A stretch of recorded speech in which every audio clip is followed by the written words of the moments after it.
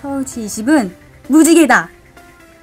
왜냐면 레인보우도 7빛깔이 모여 하나가 되듯이 G20 20개의 색깔이 모여 20개의 나라가 모여서 하나의 무지개를 만들어내는 거라고 생각을 하거든요. 그래서 G20은 무지개다. 서울 G20 정상회의는 핫이슈다.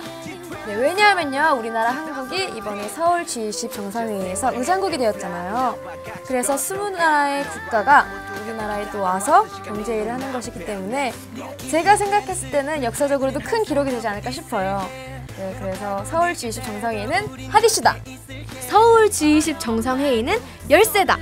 네, 왜냐하면요.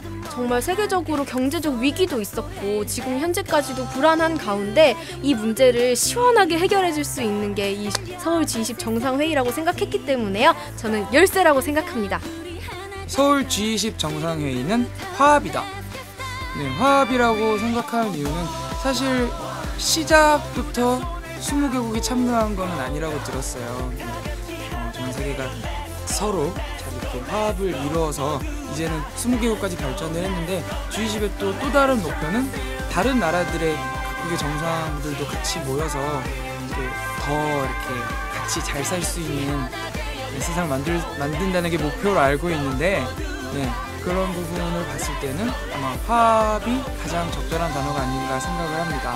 저희가 기념 음반을 녹음을 하는데도 20팀이 각기 다른 팀이지만 서로 이렇게 화합을 해서 좋은 음악을 여러 분들에게 선물하고 들려드리는 것처럼 G20은 화합이가 가장 적절한 단어입니다.